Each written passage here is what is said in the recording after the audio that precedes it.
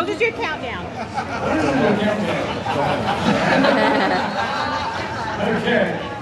So we'll, we'll be able to take our cameras over to the trees and count down. Everybody in the office here? Ready? Ten.